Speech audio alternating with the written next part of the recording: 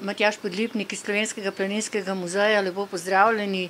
Kakšne aktivnosti ste sprejeli v času karantene v Slovenskem planinskem muzeju v Mojstrani? Dober dan, lepo pozdravljeni. Tako kot vidite, smo zdajle pred muzejem, ker je muzej seveda zaprt v skladu z določili in zakoni Vlade Republike Slovenije. Tudi mi ne moramo nič drugače, ampak vsem se pa trudimo ostati v stiku z našimi ljubitelji, z obiskovalci, ki so prihajali in ki verjamem, da bodo še prihajali, ko bo pandemije konec. Tako da veliko delamo na internetnih vsebinah, na socialnih omrežjih in se vsak dan poskušamo povezati z našimi obiskovalci na ta način. Torej na spletni strani, pa na Facebook profilu, pa tudi na Instagramu delamo številne zgodbe.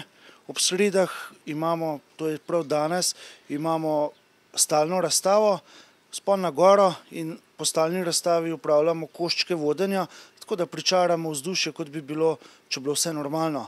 V ponedeljkih imamo vsakič zgodbo o deseti obletnici Slovenskega planinskega muzeja, kajti leto 7. augusta praznujemo prav to deseto obletnico, pa se radi malo spominjamo, kaj se je v teh desetih letih zgodilo, kaj smo že naredili in kje smo že bili uspešni. Poleg tega delamo številne pedagoške vsebine, pri nas je zaposlena tudi kustosinja pedagoginja in na ta način potem pripravljamo številne planinske igre, uganke in podobno.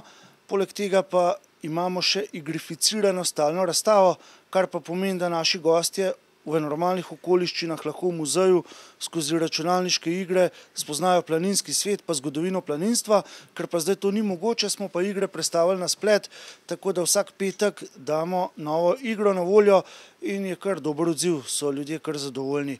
Igrajte jo tudi vi. In kakšen obisk ste zaznali v tem času, ko ste začeli s temi vsebinami na samem spletu?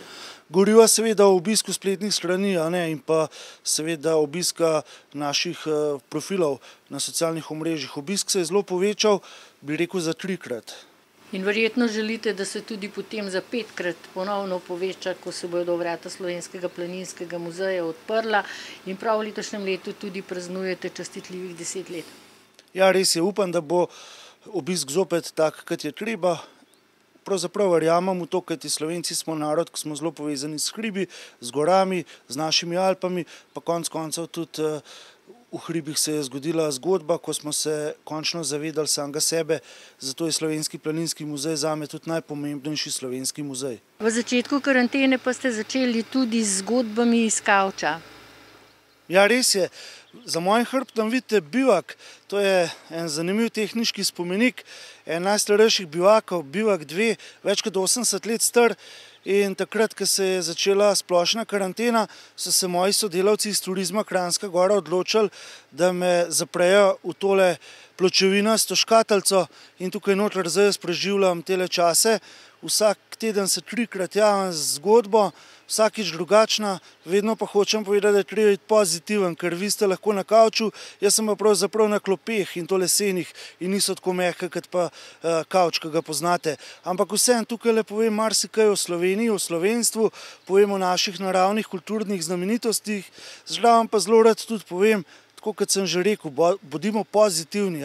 In na začetku smo začeli s hashtagom Ostani doma, zdaj se ga še držimo, sam pri sebi pa upam, da bo kmalu prišel nov hashtag v veljavo, torej gremo delat, a ne. To se pravi, ja, ostani doma, ampak delaj pa tudi. Torej gremo delat in ponovno povabite obiskovalce, da pridejo v tale bivak.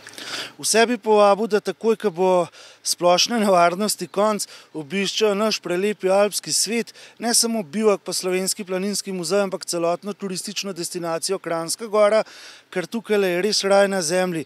In ker smo se zdaj vsi tako lepo držali, moram pohvaliti tudi vse krajane in krajanke Dolgega Mojstranja, Radovne pa Belce, res smo bili pridni in si zato seveda tudi zaslužimo obiskovalcev.